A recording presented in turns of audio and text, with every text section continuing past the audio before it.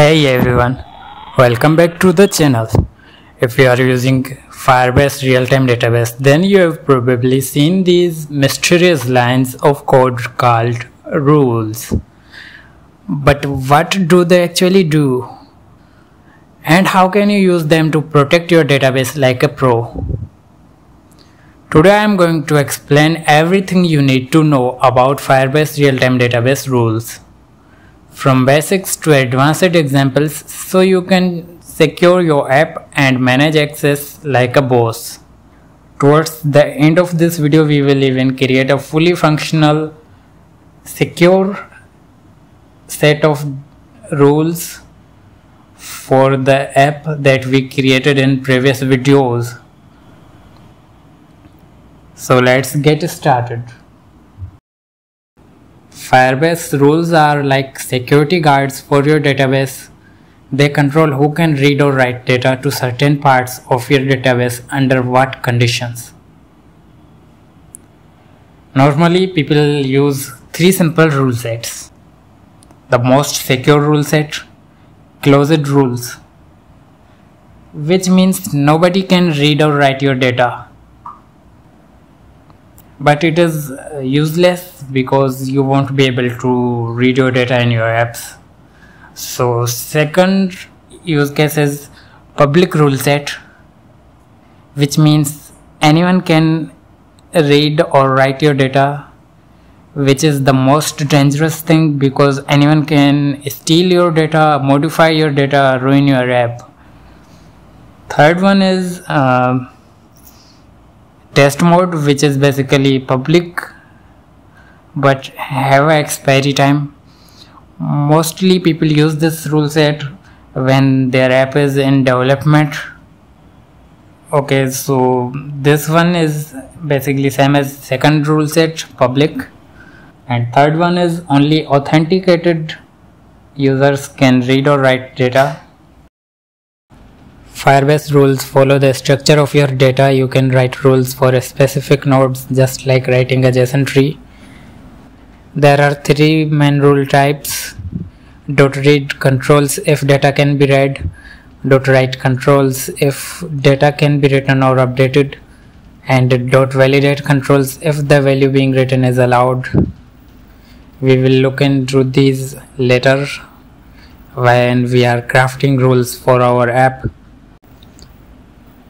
Rules are inherited from parent nodes unless overridden. This means if you deny access at the top level, everything below it is blocked unless you open it again. This blocks all reads except the public node. If you are doing queries like order by child in your app, you must tell the Firebase to index that field. This speeds up queries and prevents errors when using order by child timestamp. Always test your rules. Firebase console has a built-in rules playground for this. You can simulate read sites and uh, check if they are allowed or denied before you publish your rules.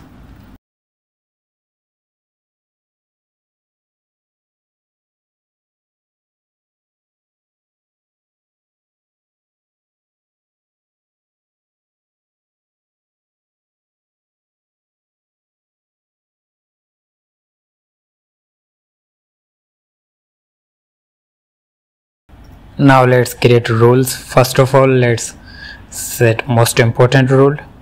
Admins uh, who can read uh, let's say only logged in users who can write?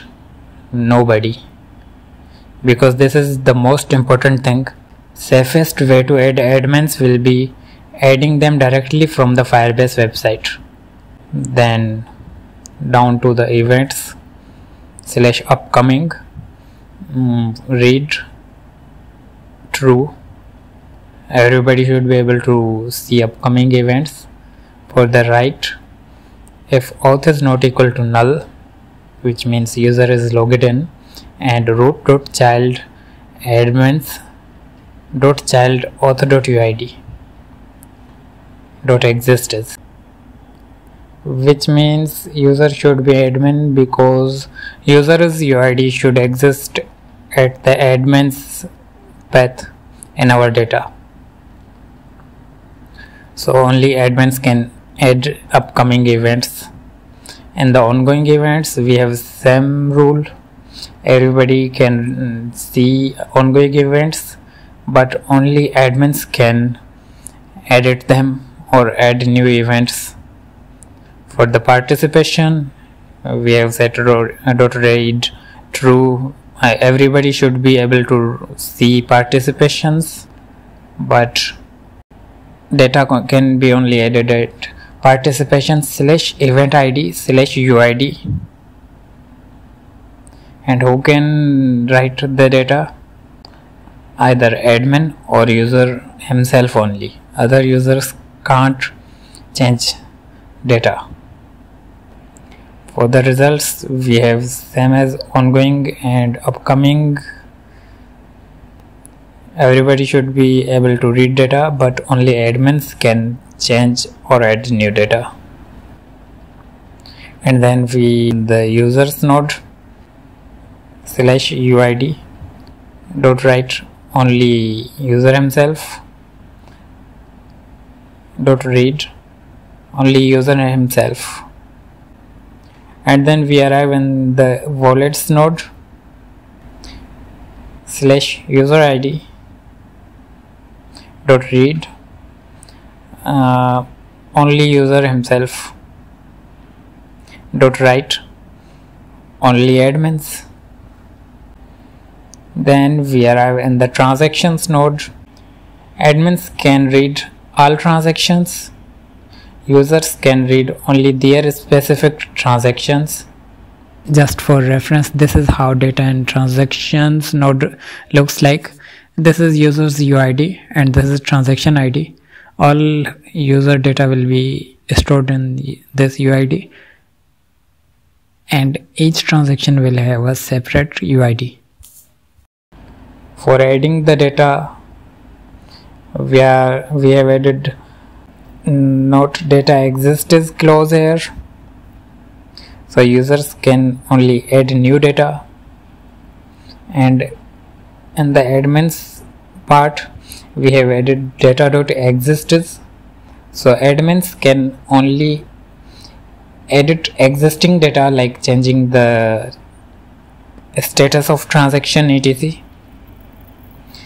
Admins cannot add new transactions user have to request a transaction then admin can only approve it or reject it. Then we are using. dot validate here we are making sure these three keys exist in the data type amount and status. Then we arrive in the type we validate. Type is only one of the allowed types at the validation slash transactions slash type. And in the amount we are validating that amount is a number and it ranges between 0 to 99 that's our limit. You can change the limit. You can set any numbers that you want and then we are validating the status. Only allowed status at the validation slash transaction slash status. And yeah we have added that data manually. By adding a admin I will show you how to add data manually. If you added a system to show the admin status in your admin panels it will show you you are not admin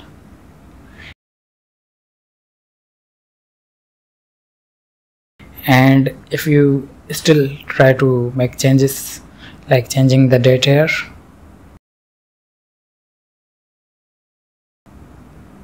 and click on update. You may think it is updated but if you go back and check it again it is actually not updated in the database. And even if you try to check transactions it will not load permission denied. So how to make yourself an admin? First of all copy your UID go to Firebase. Slightly put your finger over this. A plus icon will appear click on it and then enter admins slash paste your UID and in the value enter any value like true false or even you can store username. The value doesn't matter. Your UID should exist and you will be considered as the admin.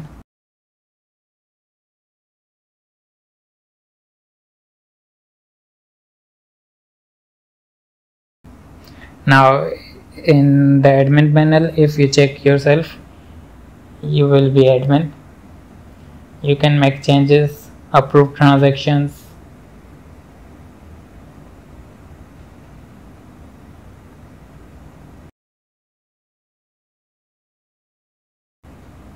and to remove someone as the admin you have to delete their UID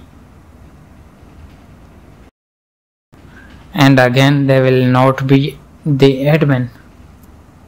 So this is all about Firebase real-time database security rules.